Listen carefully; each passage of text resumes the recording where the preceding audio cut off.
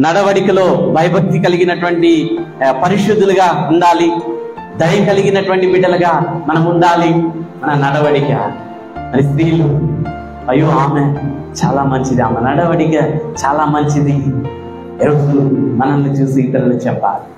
ఆమె దేవుని శిష్యురాలు యేసు ప్రభు యొక్క శిష్యురాలు ఆమె. ఆ స్త్రీ చాలా భక్తి పత్రాలు కొండెకత్తులు అంటే ఇతరుల గురించి మాట్లాడకూడదు. ఒకరిపైన ఒకరు మనం మరి ఇతరుల గురించి మనం మాట్లాడకూడదని ఇక్కడ చెప్తూ ఉంటున్నాడు.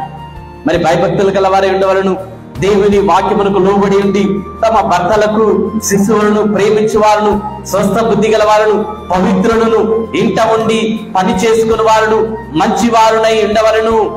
మరి బుద్ధి చెప్పుచు మంచి ఉపదేశం చేయవారునై ఉండవలనని బోధించుము.